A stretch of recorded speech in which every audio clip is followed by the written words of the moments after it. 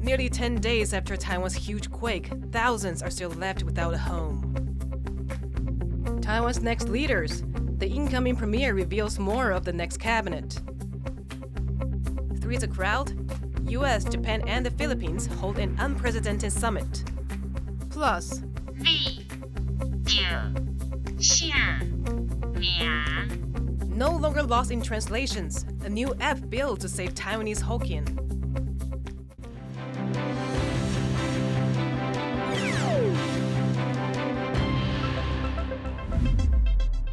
Welcome to Taiwan Plus News. I'm Yvonne Yang. Rescue teams are stepping up the search for the three people still missing over a week since a 7.2 magnitude earthquake struck Hualien. One worker is believed to be trapped five stories below ground in a mine in New Taipei. Heavy machinery is trying to reach the area, but reports suggest they may not have survived. Meanwhile, search teams have identified a section of mountain trail outside of Hualien where they believe two missing Singaporeans may be. 128 buildings were damaged in last week's earthquake in Hualien, leaving residents with nowhere to go. John Van Trieste has this report. This 17 story apartment block in Hualien withstood last week's earthquake, but not without heavy damage. The concrete walls are punched full of holes and riddled with cracks, and debris covers the floors. Inspectors say the building can be repaired, but for now, the nearly 400 residents must find somewhere else to live. Over a week after the earthquake, most still don't have a long term plan. 昨天晚上住朋友家，嗯，呃，现在就是要去找房子。对面的香客大楼就让我们莲花的住，大部分第一时间他们还是找亲朋好友。 This is just one of 128 buildings across Taiwan that either need repairs or are set for demolition after the earthquake in Hualien. Many are residential. The government has come up with a financial support scheme to help displaced people. It will offer up to 47,000 US dollars to cover repairs and up to 109,000 to cover interest on loans for housing that needs reconstruction. And there's funding to cover the rent in a new place while people wait for repairs or rebuilding, up to 560 a month. But in Hualien especially, there are those who'd rather risk aftershocks and stay put in their damaged homes. With many people suddenly needing an apartment in this city of just 100,000, vacancies, especially reasonably priced ones, are in short supply. One other suggestion has been temporary prefabricated housing, the kind that can be put up and taken down again. 如果要做这个组合屋的话，还必须要去盘点它适合的地点哦。初步大概有九个地方。Some say this might not be a bad idea, considering the scale of destruction. 如果他的生活机能状况是好的的话，我个人是不排斥的。But will this housing be close to where people work and go to school? How will it be set up? 因为它的不确定性有太多，可能都是大家民众在考量是否要做组合屋的这些种种问题。As engineers take stock of the scale of the demolition and repair work that needs to be done, officials are sizing up the human cost and figuring out how to help survivors through the weeks and months ahead. James Lin and John Van Trieste for Taiwan Plus. Taiwan's incoming premier, Zhuo Rongtai, has revealed his picks for five of the country's next cabinet ministers. Our reporter Leslie Liao was on location for the announcement Two days after Taiwan President elect Lai Ching-te announced his pick for Taiwan's next premier, Zhuo Rongtai, Zhuo today announced five of Taiwan's next cabinet ministers. 我们希望在现有的执政的基础上，能够持续的加油，为老问题找新方法，为新问题找好方法。 First, we have Liu Shifang, who's been tapped as Taiwan's next interior minister. Liu is a former deputy mayor of Kaohsiung City in southern Taiwan. She's also been a legislator, and she's also been the secretary general of the cabinet. However, she's probably best known for overseeing disaster relief efforts after a gas explosion in Kaohsiung City in 2014. Taiwan's current Cabinet Secretary General Li Mengyan will be Taiwan's next transport minister. Now, when announcing his appointment, Zhuo pointed out that Li has a background in environmental engineering, and Li has been tasked with developing Taiwan's infrastructure with an emphasis on offsetting the negative impacts of climate change. Taiwan's next justice minister will be Zheng Mingqian, who is currently Taipei City's chief prosecutor. Taiwan's next education minister is Zheng Ying-yao, who is the current president of National Sun Yat-sen University in southern Taiwan. When announcing his appointment, Zhuo says that Zheng has years of experience developing bilingual education and raising uh, student competitiveness, which has been an emphasis point for the ruling DPP administration over the years. Finally, Zhuo announced that Taiwan's next culture minister will be writer and screenwriter Li Yuan, better known by his pen name Xiao Ye. What's interesting is Li was an aide to former Taipei City Mayor Ke Wen-je, who now chairs the opposition Taiwan People's Party. However, Zhuo seemed confident in Li's ability to help develop Taiwan's culture, uh, whether it be local culture, industrial culture, and make that a bright spot on the international stage. There remains about 10 cabinet positions that have yet to be announced. The cabinet spokesperson told Taiwan Plus earlier that there are two to three more cabinet minister position announcement events like these in the works. Uh, still yet to be announced are vital arms of government like the ministers for the Foreign Affairs Ministry and the Defense Ministry. Justin Wu and Leslie Liao in Taipei for Taiwan Plus. The US, Japan, and the Philippines have wrapped up an unprecedented trilateral summit, with Washington saying its defense commitments to the other two countries are ironclad. Hamil Khan reports. A historic meeting just concluded. Leaders from the US, Japan, and the Philippines are in Washington, D.C., seeking to strengthen security ties in the Indo Pacific region. It's the first such summit between the three countries and Philippines President Ferdinand Marcos Jr. says their relationship is bound by a common goal. We meet today as friends and partners bound by a shared vision and pursuit of a peaceful, stable, and prosperous Indo Pacific. It is a partnership born not out of convenience nor of expediency, but as a natural progression of a deepening relation and robust cooperation amongst our three countries. The summit comes as the Philippines struggles to confront China's increasingly aggressive actions in the South China Sea, a massive body of water that sees more than a third of all global trade pass through this channel. The Philippines is one of several countries with territorial claims in the region, with China saying nearly the entire sea belongs to it. But Beijing's claim was rejected by an international court ruling in 2016. China has since increased its presence in the area, recently blasting water cannons to drive out Philippine boats and injuring some of the crew. It's this escalation that is drawing concern from the U.S. And I want to be clear the United States, the United States defense commitments to Japan and to the Philippines are ironclad. They're ironclad. As I've said before, any attack on Philippine aircraft, vessels, or armed forces in the South China Sea would invoke our mutual defense treaty. With wars continuing to rage in Gaza and Ukraine, the U.S. is leaning on its Asia Pacific allies to help deter China from disrupting regional peace and security. Speaking before the trilateral summit, Kishida was the second Japanese prime minister to ever address the U.S. Congress. He told lawmakers that Japan is ready to step up to help safeguard the current international order.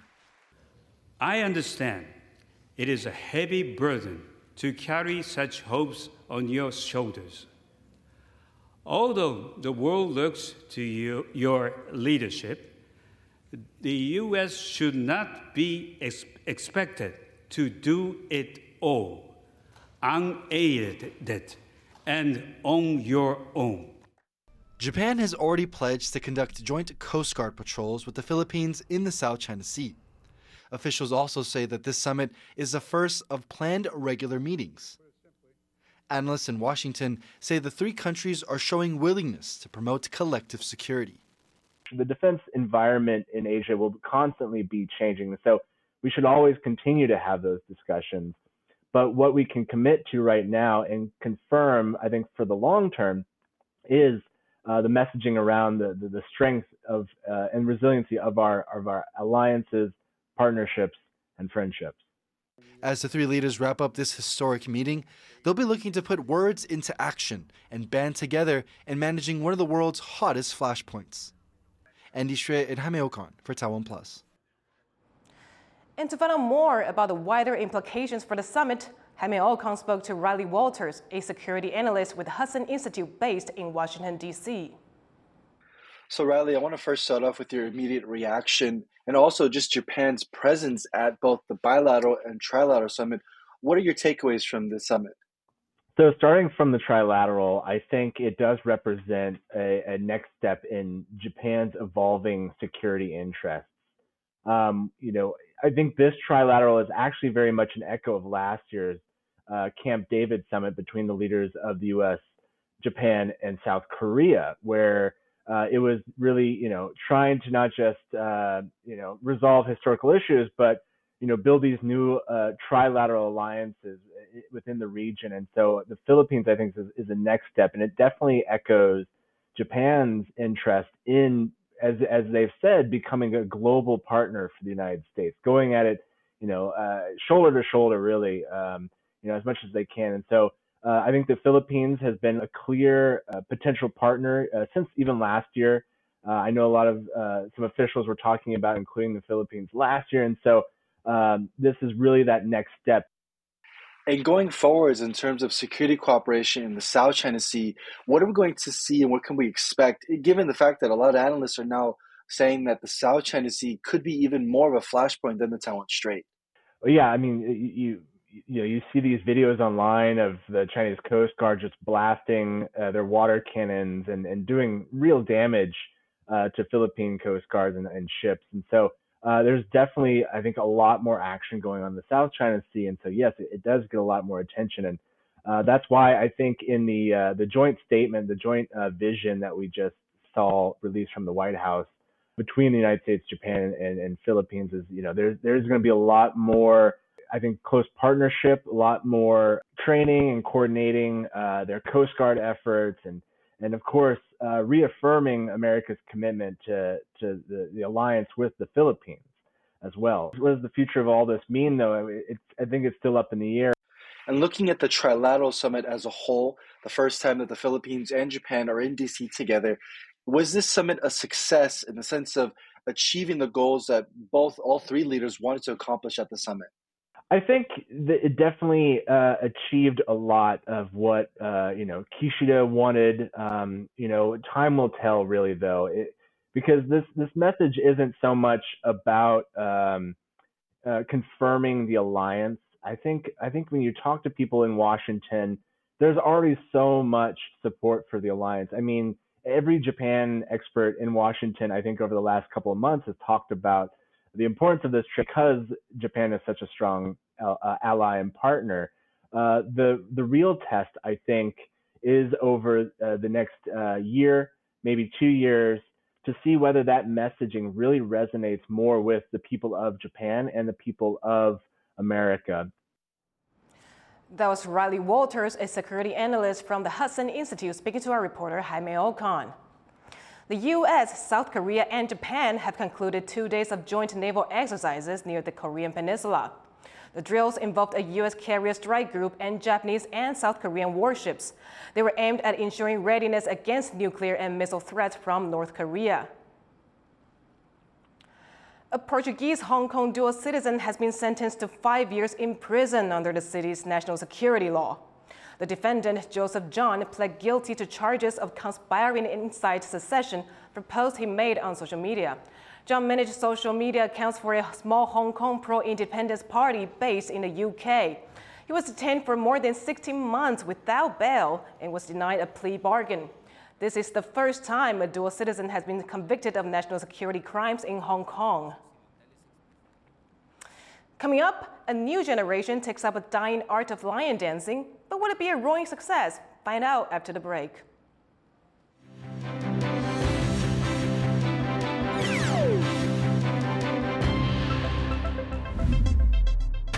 In the face of adversity, the power of truth.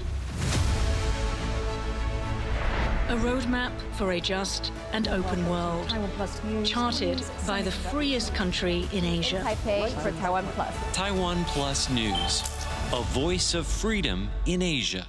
For the biggest stories in tech, business, and more, be sure to follow Taiwan Plus on social media.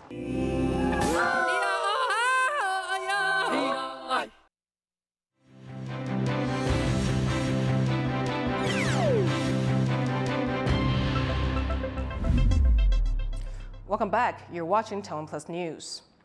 People are fleeing to Thailand after Myanmar's ruling junta lost control of a key border town. Thailand has boosted security at the border near Myawaddy.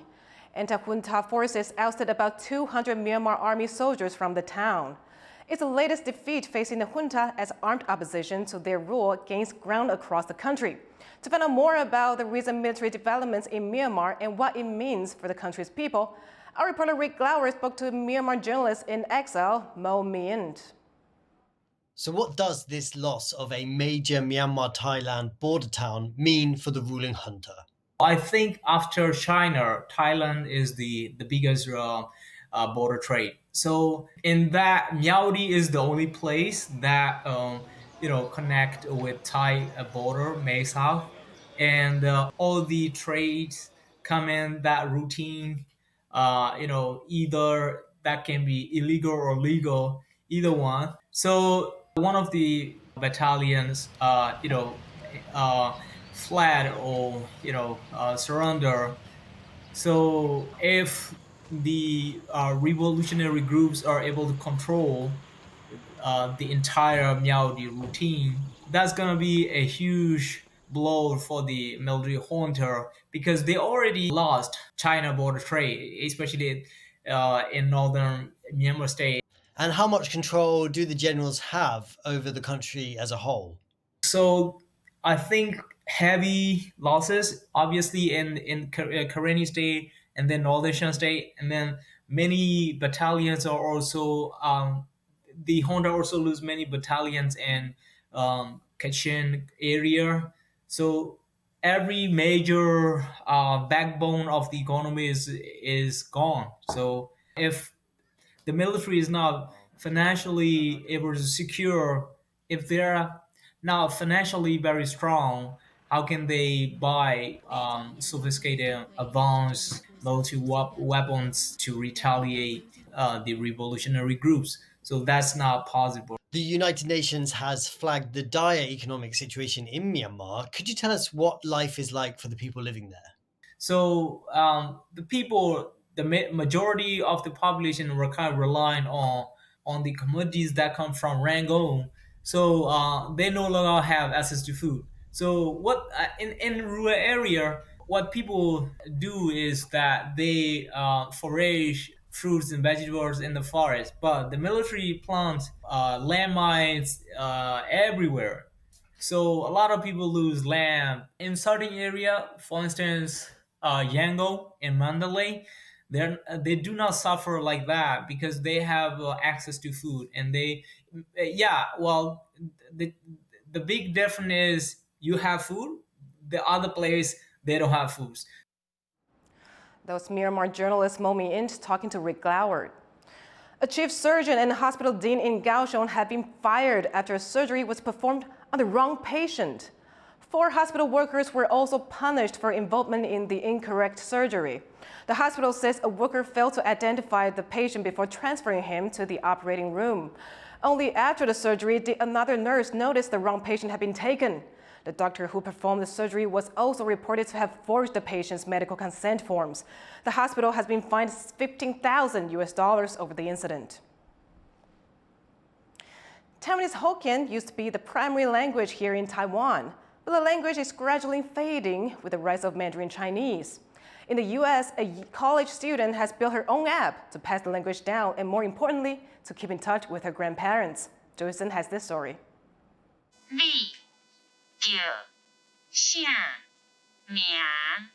A digital tool that translates English to Taiwanese Hokkien, invented by Taiwanese American engineering student Talia Huang.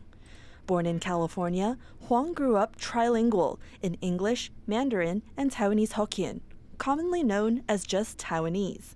Distinct from Mandarin, Taiwanese is the only language Huang has in common with her grandparents. Now a college student far from home, Huang worries she's losing this tie to her family. I spoke English as my most native language, while Taiwanese was just spoken with my parents and grandparents. So after not practicing for so long, I realized that I needed to create some way that could help me kind of keep up my Taiwanese language. Huang tapped into her coding skills and created Bobaway, a program that takes English text, translates it into Chinese, as that's the closest written language to Taiwanese, and finally gives a romanized pronouncer. Though still widely spoken among people in Taiwan, the Taiwanese language has been losing its prevalence. Linguists say this is in part due to Mandarin's significance on both the local and global stage.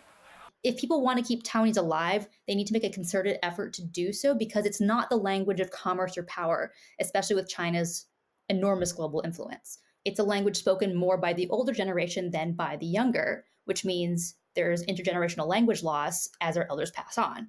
So it's particularly important that parents and grandparents pass their language down while they still can, especially at home, which is the most important domain for intergenerational um, language transmission or transfer.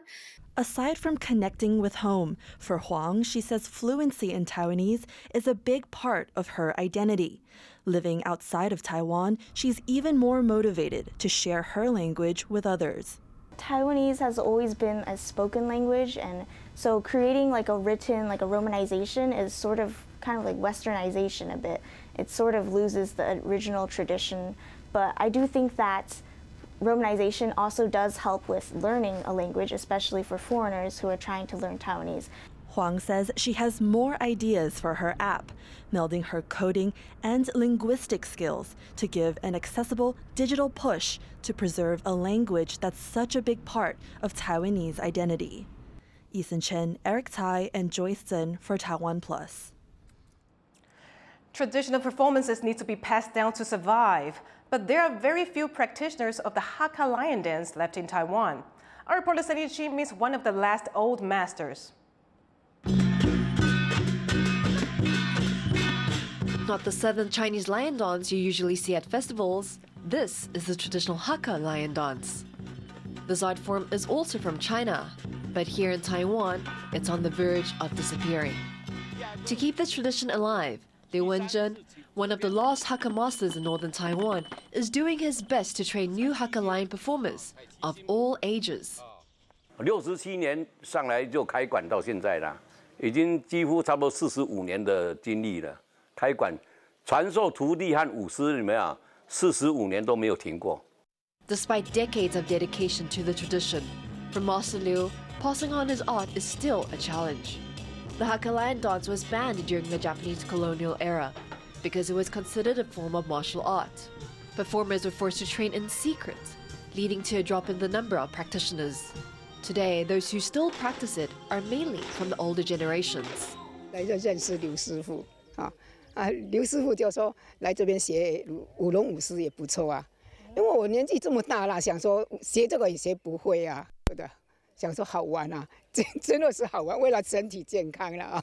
玩这个的话，可能就是第一个体力要好，第二个要协调力，第三个还是要体力，再就耐心。我们就当我是当成在玩在跳而已。There aren't many chances to perform this vanishing art form, so Master Liu's apprentices train for fun. a major feat considering how hard it is. Many say that the Hakka lion head is very difficult to perform with. It requires a lot of strength to control, and one can weigh up to 24 kilograms. According to Master Liu, the most challenging part is to be able to hold up throughout the performance. To address the weight issue, Master Liu developed smaller, lighter Hakka lion heads, making it easier for both younger and older people to handle. The smaller version can weigh just a few kilograms. 现在的年轻人可能要越轻越小越好了。那大致可能拿都拿不动了。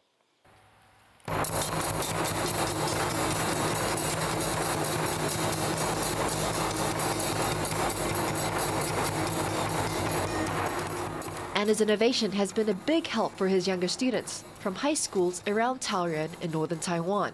刚好也是客家人，然后对啊，啊又刚好看到学校这个社团，就蛮有兴趣的。是石头，然后因为那个平常也不会去接触这个，看那个别人表演才发现其实蛮蛮累的，还挺喜欢的。